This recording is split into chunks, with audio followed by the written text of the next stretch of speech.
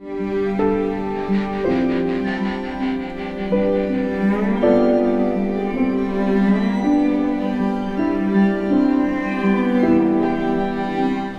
I know we did the AFI screening the other night, and uh, to have a lot of people from AFI there, uh, it was great for me as a screenwriter because they sort of saw it from the inside out. They sort of were able to ask the questions that were about process, and you knew that they'd been through the process as well. So that's I feel like AFI definitely has a special air of respectability too. yeah, it's very true.